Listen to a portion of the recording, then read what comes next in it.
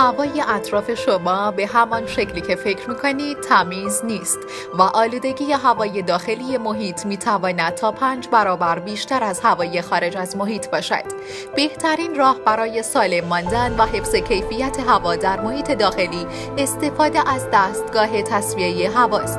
در دستگاه های تصویه هوای شرکت کولاک فن با استفاده از یک فن هوا به درون دستگاه کشیده می شود و در مسیر خود از فیلترهای مختلفی از جمله فیلتر هپارت می شود.